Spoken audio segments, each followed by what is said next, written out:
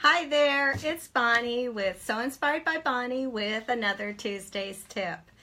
And today we're going to discuss how to iron vinyl. And what I'm talking about is the clear see-through type of vinyl, not the heat transfer vinyl.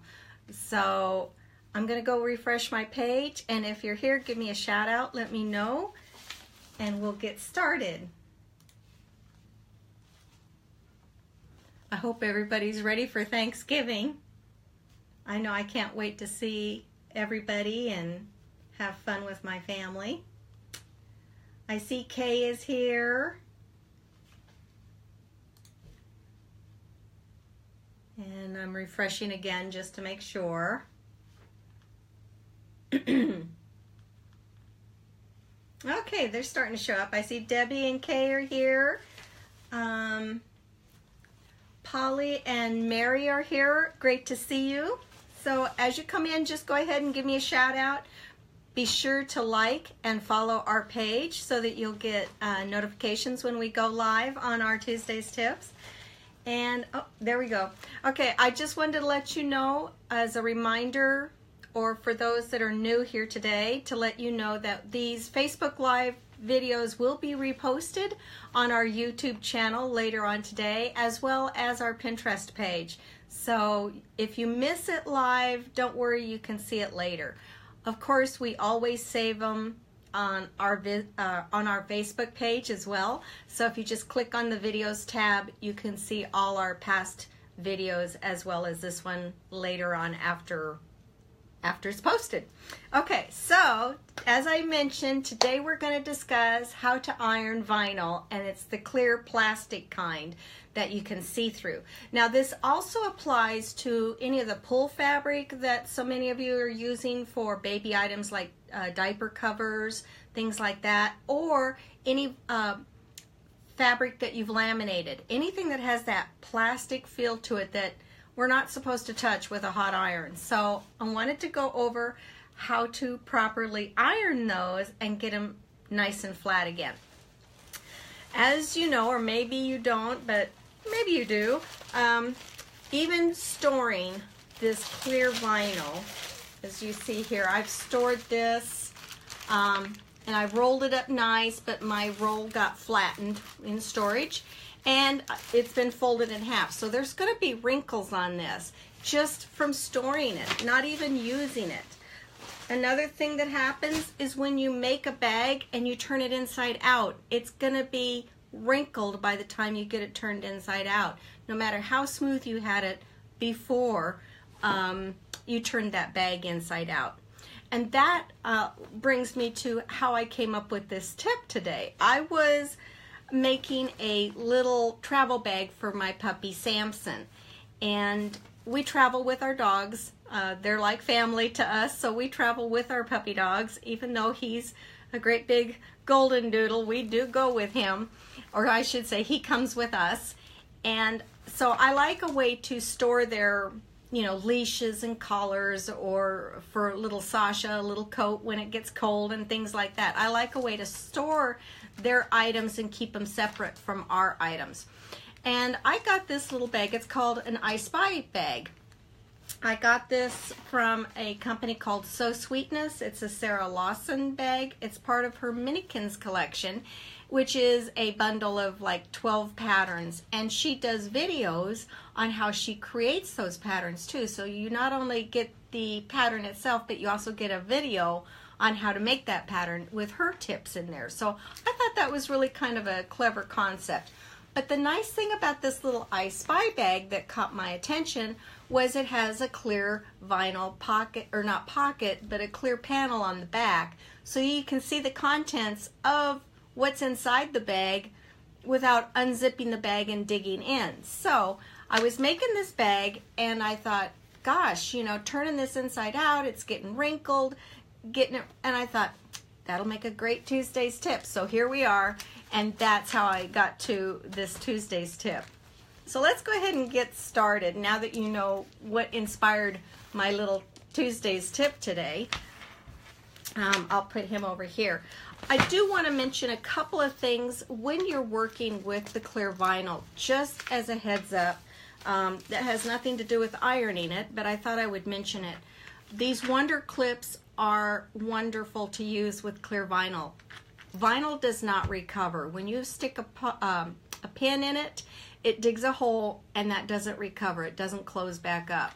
So the Wonder Clips are great for that. They just clip on and don't make any holes or anything. So I really liked the Wonder Clips for that reason.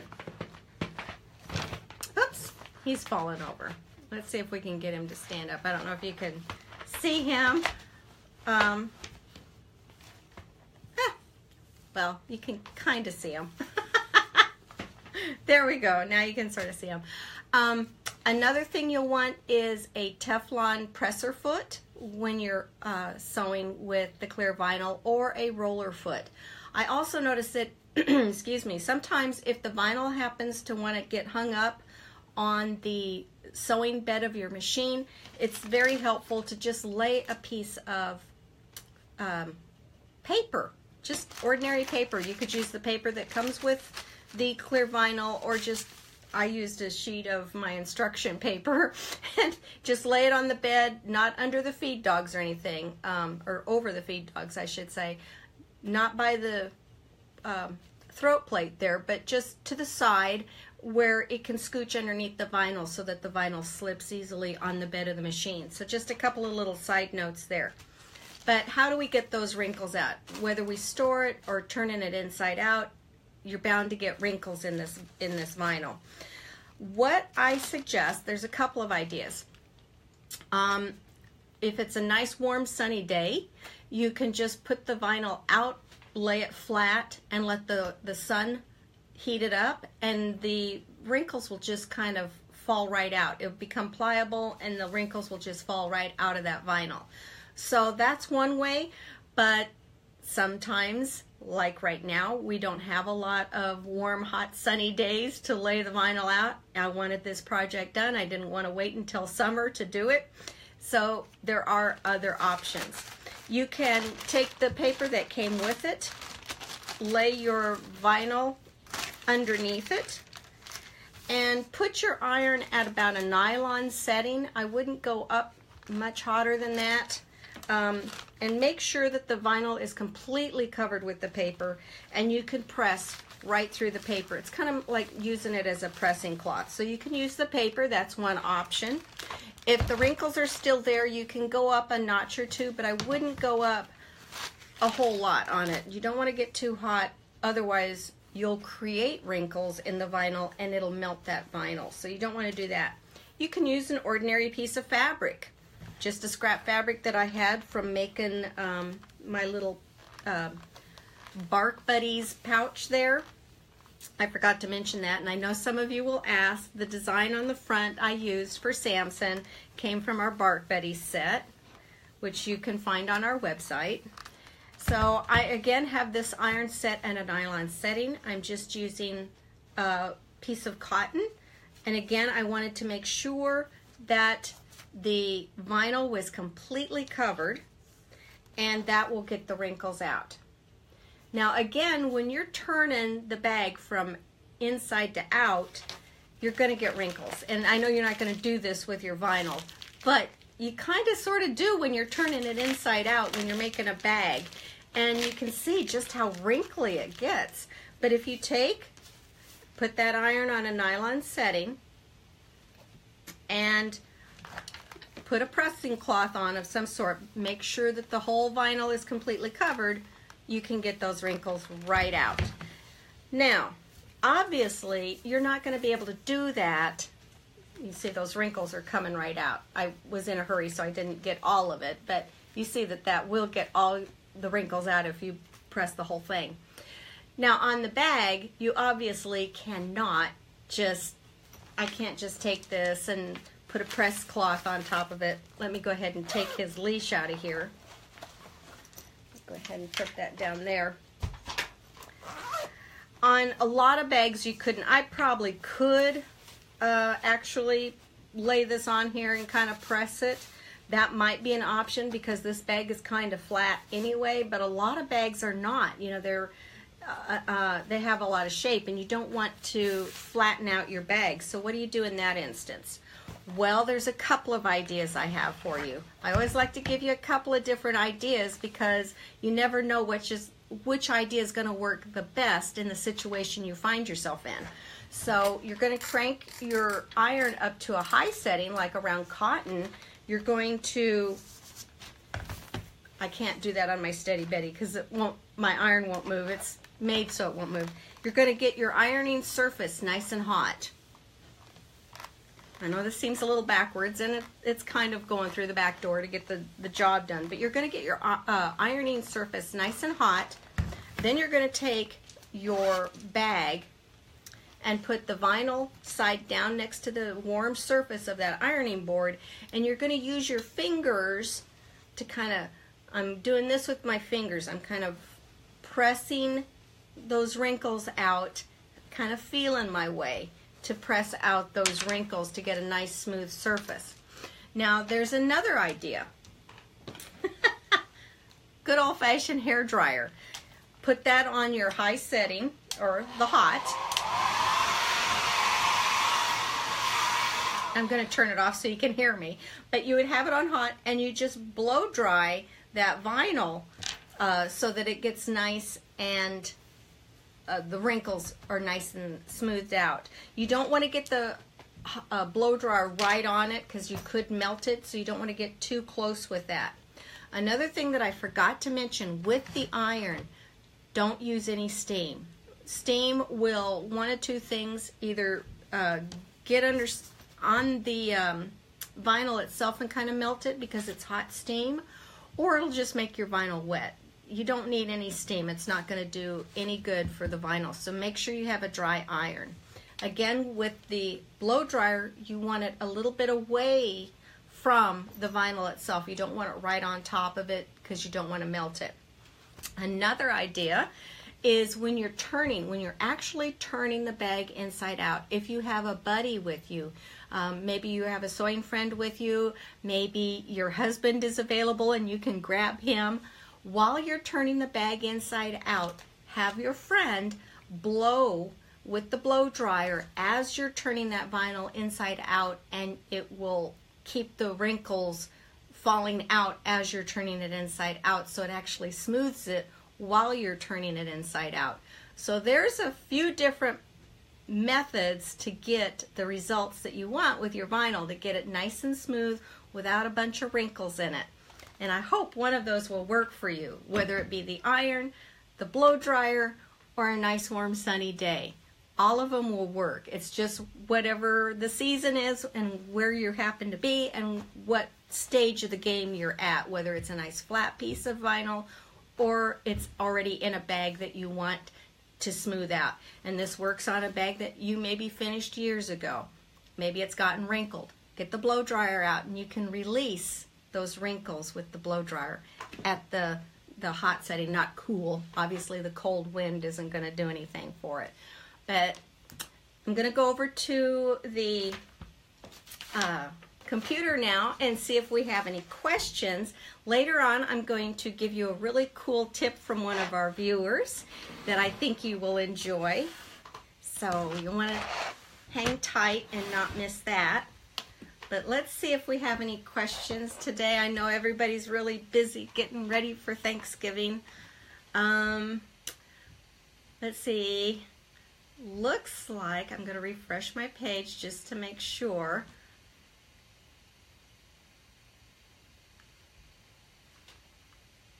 Might not have any question. It might have been pretty self-explanatory. It looks like this is a first. I don't see any questions from anybody. It looks like it was pretty self-explanatory today. Yay! oh, I love questions, don't get me wrong, but I'm, I'm glad that it made sense what I was uh, showing. So let's go ahead and move on to um, the next segment. Oh, I did want to remind you, please, please, do sign up for our newsletter. You can do that over at www.sewinspiredbybonnie.com. And when you sign up for our newsletter, we send you a couple of free designs. You'll get notifications of sales that are coming up, as well as reminders of our Tuesday's tips and what they will be. and new releases when we have new releases of either new designs or new colors on our glitter flex. So let's go ahead and um, Susan said that the video kept freezing up on her, but better late than never. I'm sorry the video was freezing up on you on your end. Um, that could be a proce processor issue. Sometimes that happens when I have too many uh, windows open on my computer, so you might want to make sure you don't have a bunch of stuff running in the background. But let's go on. Oops, it slid away from me. I have to reach for it. For our Tuesday's tip from one of our viewers today.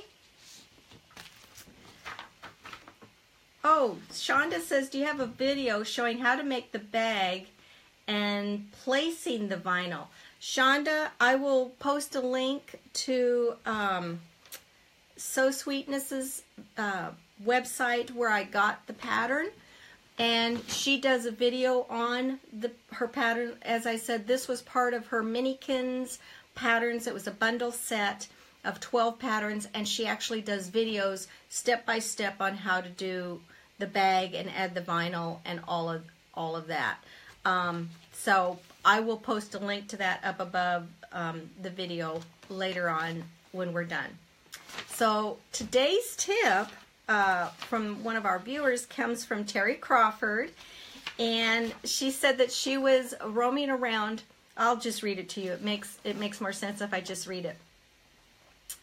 She was roaming around in a Target store that was having a remodel done. I know a lot of the Targets are redoing uh, their layout and everything. So it's been kind of a crazy mess for a while. So anyway, she said she passed by a clearance area in that Target what they were while they were remodeling, and she saw some of those as seen on TV signs. What caught my eye was the copper grill mat. My wheels started turning.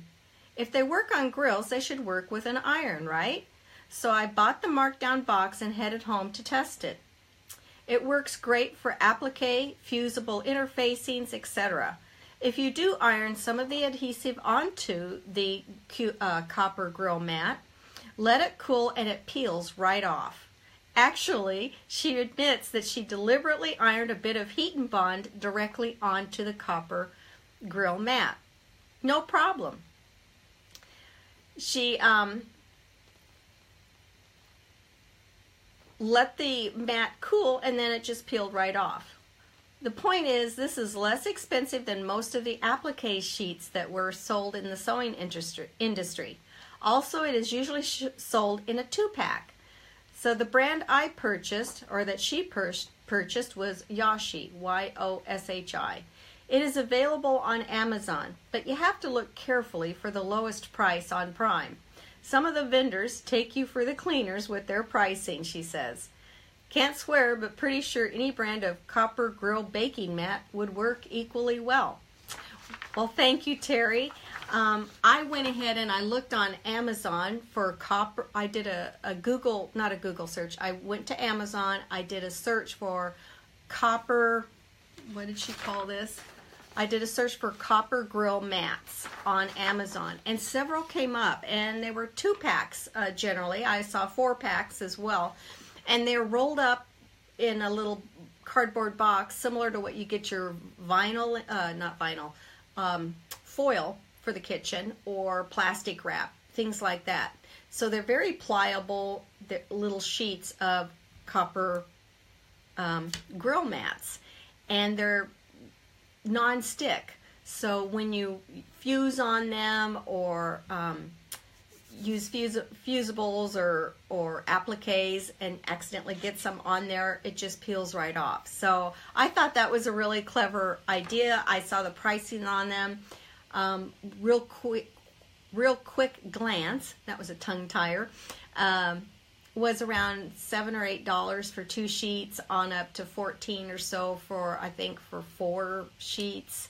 So they are pretty reasonable. Um, might give it a give it a shot and take a look at them uh, for her sending in the tip as you guys know when you send in a Tuesdays or a tip that I use while I'm on my Tuesdays tip Facebook live video I will send you free five sheets of 6 by 10 sheets of the Glitter Flex. And we sell the Glitter Flex on our website.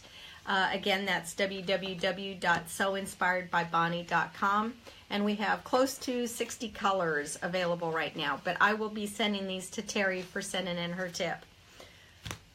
Okay, well, I think that covers our Tuesday's tip today. I hope you enjoyed it. I hope you find one of those methods that will work well for you. I hope everybody has a wonderful Thanksgiving. I really appreciate you guys spending some time with me today. I know you guys are really busy. We are all running around trying to get everything done here, but we're getting there. it just keep running, right? So, anyway, I again wish you a happy Thanksgiving and until next Tuesday, bye bye for now.